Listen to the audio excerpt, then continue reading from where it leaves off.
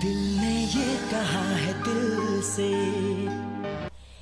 નમસ્કાર વિદ્યાર્થી મિત્રો આજે આપણે પાણી અને મીઠાના દ્રાવણને અલગ કરવાની પદ્ધતિ વિશેનો અભ્યાસ કરીશું તો ચાલો જોઈએ મીઠું અને પાણી એના બંનેનું દ્રાવણ કઈ રીતે અલગ કરી શકાય છે તે પ્રવૃત્તિ દ્વારા વિદ્યાર્થી મિત્રો આ પ્રવૃત્તિ માટે તમારે જોઈશે મીઠું સ્પિરિટ લેમ્પ કોનિકલ ફ્લાસ્ક અને પાણી બીકર ત્રિપાઈ અને જાળી. વિદ્યાર્થી મિત્રો, હવે સૌ પ્રથમ આપણે આ ફ્લાસ્કની અંદર પાણીમાં મીઠું ઉમેરી અને એનું દ્રાવણ બનાવીશું. વિદ્યાર્થી મિત્રો, અહીં મીઠું ઉમેરી લીધું છે. હવે આને આપણે હલાવી લઈએ. વિદ્યાર્થી મિત્રો, તમે અહીં આગળ જોઈ શકો છો કે આપણે જે મીઠું ઉમેર્યું હતું, એ હવે પાણીની અંદર અદ્રશ્ય થયેલું જોવા મળે છે. મતલબ, એની અંદર ઓગળી ગયું છે. વિદ્યાર્થી મિત્રો, હવે આ પાણીને આપણે બીકરની અંદર લઈએ. વિદ્યાર્થી મિત્રો, હવે આ રીતે સ્પિરિટ લેમ્પ ચાલુ કરી જાળી ઉપર આપણે બીકર મૂકી અને મીઠાના દ્રાવણવાળું જે પાણી હતું, એને ગરમ થવા દઈશું જ્યાં સુધી તે ઉકળી ન જાય. વિદ્યાર્થી મિત્રો, અહીં આગળ તમે જોઈ શકો છો કે પાણીને ઉકળી જવા દીધા પછી બીકરમાં શું વધ્યું?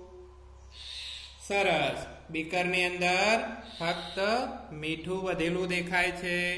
તો વિદ્યાર્થી મિત્રો, આ પ્રવૃત્તિમાં આપણે પાણી અને મીઠાને અલગ કરવા માટે એક પદ્ધતિનો ઉપયોગ કર્યો.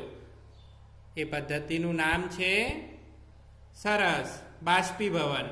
પાણીની વરાળ બની અને પાણી જે દ્રાવણ હતું એમાંથી દૂર થઈ ગયું અને જે મીઠું મીઠું હતું, એ મીઠું બીકરના અંતે તળિયે બાકી રહી ગયું.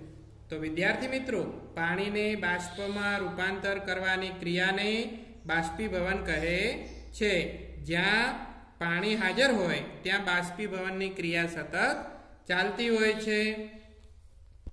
શું તમને લાગે છે કે આ મીઠું કઈ રીતે આવતું હશે? બિલકુલ સાચું. દરિયાના પાણીમાં ઘણા બધા ક્ષાર આવેલા હોય છે. આમાંના એક ક્ષાર સામાન્ય મીઠું છે. જ્યારે દરિયાના પાણીને છીછરા ખાડામાં ભરવામાં આવે છે, ત્યારે સૂર્યપ્રકાશથી પાણી ગરમ થાય છે અને ધીમે ધીમે બાષ્પીભવન દ્વારા બાષ્પમાં રૂપાંતર થાય છે.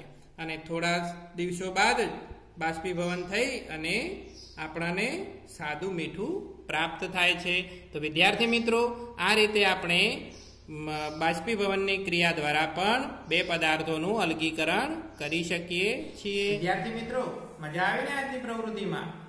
બાષ્પીભવનની પ્રક્રિયાનો આપણે આજે પ્રવૃત્તિની અંદર અભ્યાસ કર્યો અને મીઠું અને પાણીના દ્રાવણને અલગ કરવાની રીત વિશે પણ અભ્યાસ કર્યો.